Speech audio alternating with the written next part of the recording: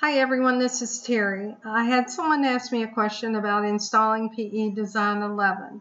What you need to do on a Windows-based machine is turn your machine on and place your USB stick inside the side of the machine. You want to locate your file folder if you don't have a pop-up window that shows you how to install and you want to, to locate the drive letter that shows you PE Design 11 and in my case it's G, yours may be different, and then you want to double click Setup EXE. When you do that, follow your screen prompts and it will follow the instructions pretty much that you have in your package as far as ins installing it.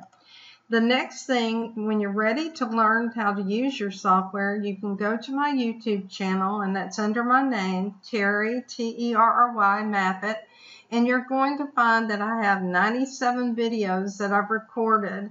So I would suggest that you watch some of those videos and you look at the material that is included either in a PDF file or you can use the online help to help you navigate through the software.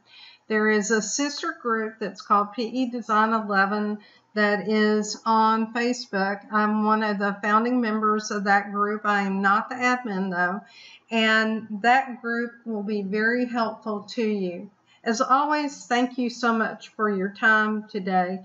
In the time of turmoil, I want you to know that you're in my prayers. And I also want you to know that I know that we're going to get through all of this together. Be supportive and help those people that you can help in any small way. Thank you and have a good day.